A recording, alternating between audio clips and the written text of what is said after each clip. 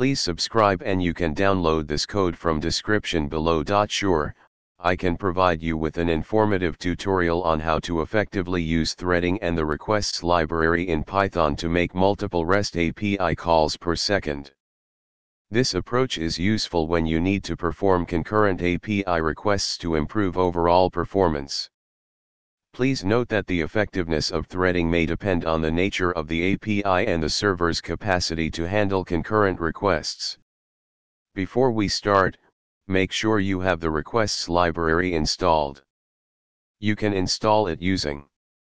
Let's create a simple script that demonstrates how to use threading for making multiple REST API calls. In this example, we'll use the JSON placeholder API, a fake online REST API for testing and prototyping. This script defines two functions, make underscore API underscore call for a single API call and make underscore API underscore calls underscore with underscore threading to demonstrate threading. The script then measures the total time taken to complete all API calls. Make underscore API underscore call, this function makes a single API call using the requests library.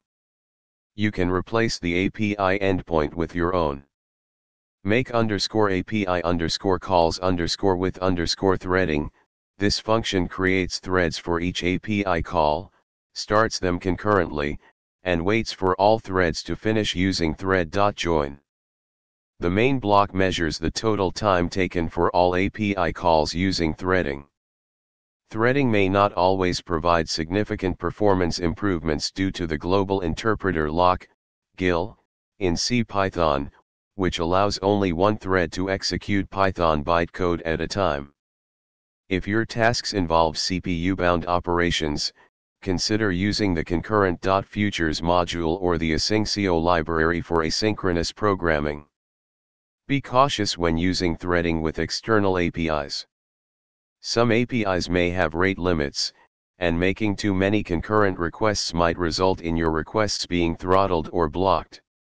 Always check the API documentation for guidelines. Feel free to adapt this example to your specific use case and API requirements. ChatGPT